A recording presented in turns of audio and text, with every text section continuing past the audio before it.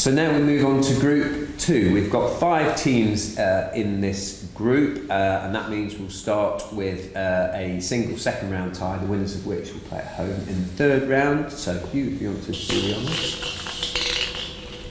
Number four. Number four is Stocksfield, and they will be at home too. Number one. Number one, which is Bomarsund, who were champions in 1974. And the winner of that tie will be at home in round three too. Number three. Number three, which is Sacriston, who were regional champions last year.